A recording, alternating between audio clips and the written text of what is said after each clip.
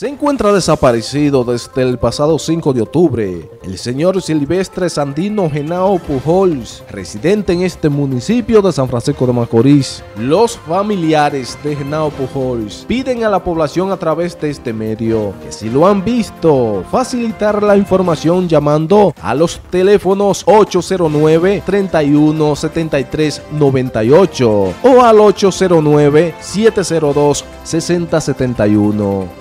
NTN, su noticiero regional, Robinson Blanco.